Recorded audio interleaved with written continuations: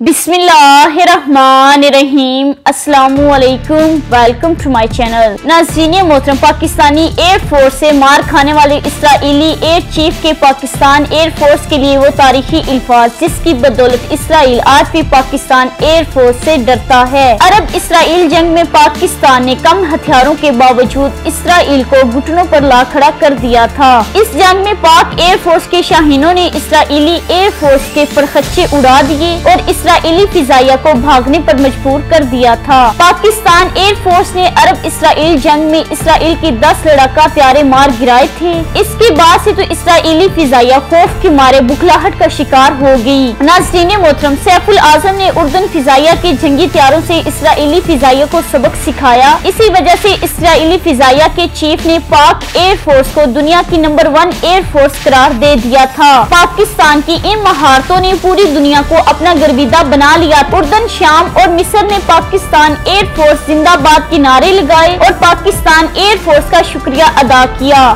اگر پاکستان ہمارا ساتھ نہ دیتا تو ہماری حالت ہی اسرائیل نے بدل دینی تھی۔ ناظرین محترم، اس وقت جب اسرائیل پاکستان ایئر فورس کے سامنے مکمل بے بس ہوا تو اس نے امریکہ سے شکایت کر دی کہ پاکستان اسرائیل کو گھر میں گھس کر مار رہا ہے۔ بڑی قوتیں پاکستان کو روکیں ورنہ اسرائیل کا بہت بڑا جانی و مالی نقصان ہو سکتا ہے۔ سعودیہ جو آج پاکستان کو آنکھیں دکھا رہا ہے، اسی سعودیہ پر 1969 میں یمن کی کیمونسٹ افواج نے حملہ کر دیا تھا اور سعودیہ کی کچھ علاقوں پر قبضہ بھی کر لیا۔ اس وقت یمن کے سپر پاور روس کے ساتھ انتہائی دوستانہ تعلقات میں تھی سعودیہ کی مدد کے لیے کوئی ملک آگے نہیں بڑھ رہا تھا۔ سعودی شہزادے نے پاکستان سے مدد مانگ لی اور پاکستان ہوا باز فوراً سعودی افواج میں شامل ہو گئے اور کچھ ہی وقت میں پاک فضائیہ یعنی نے فضائی حملے کر کے یمنی افواج کی کمر توڑ کے رکھ دی۔ یمنی افواج کی کہیں ٹینک اور بختر بند گاڑیاں پاکستان ایئر فورس نے تباہ کر دی اور اسی دوران یمنی فوج سعودیہ کے علاقے چھوڑ کر بھاگ گئی۔ ناظرین محترم پاک ایئر فورس کی اعلیٰ مہارتوں کی وجہ سے آج سعودی اور دوسری عرب ممالک محفوظ ہیں۔ اگر تاریخ کو دیکھا جائے تو جس طرح سے اسرائیل نے ان ممالک پر حملے کیے ہیں، تو آج شاید اسرائیل ان پر قبضہ جما کر بیٹھا ہوتا۔ اسرائیل کو ٹکر دینے کے لیے پاکستان میدان میں اترا اور اسرائیلی ایئر فورس کا اتنا بڑا جانی و مالی نقصان کیا کہ اسرائیلی ایئر چیف نے فوراً اس بات کا اعتراف کر لیا کہ پاکستان کی ایئر فورس سے مقابلہ کرنا ہمارے بس کی بات نہیں ہے۔ لہٰذا عرب اسرائیل جنگ کو فوری ختم کیا جائے۔ تو ناظرین محترم، آج کے لیے بس اتنا ہی۔ اگر ویڈیو پسند آئی ہو تو ویڈیو کو لائک کریں اور ہمارے چینل فری زون کو سبسکرائب کیجیے۔ تو انشاءاللہ ملتی ہے نیکسٹ ویڈیو میں۔ تب تک کے لیے اللہ حافظ تھا۔